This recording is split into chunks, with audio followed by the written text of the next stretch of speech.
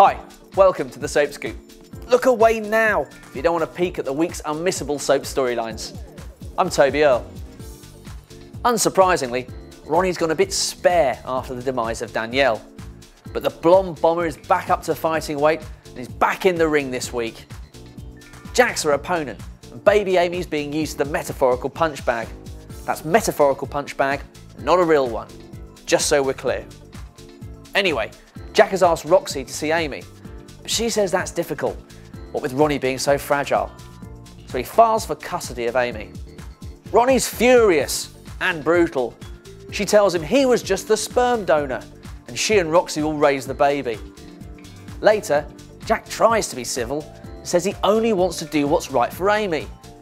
But when Ronnie starts to organise the christening, Jack decides that he wants to make him, Amy, and Roxy a proper family. But where's that going to leave Ronnie? And have his feelings for her really died?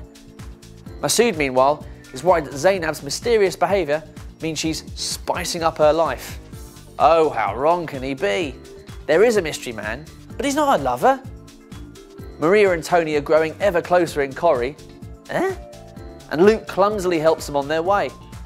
He knows Tony's got a private eye tailing him, and he decides to retaliate by hiding in the factory wearing a Tony mask.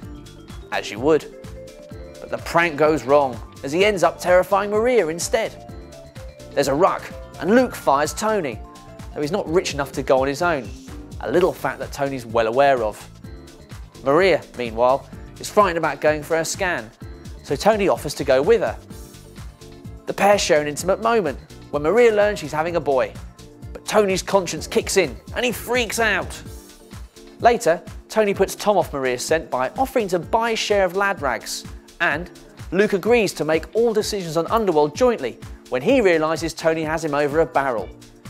It's all falling into place for the laughing Scotsman.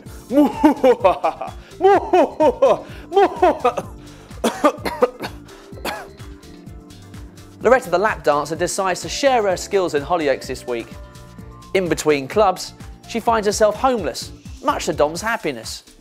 But just as he's about to ask her to move in, Darren gazumps him and tells her he has a spare room. Does it have an ensuite pole? Dom's misery grows when Loretta decides to teach Cindy some moves and says she'll get her an audition. This gives Cindy big ideas, and she tells Tony what he can do with his job. After the audition, the girls are followed home by a mystery figure, who soon turns out to be Dom. She confronts his weirdo behaviour, he plays like a fiddle when he reveals his paranoia after Niall killed Tina. She again agrees to quit dancing for him, but she can't keep away from that pole.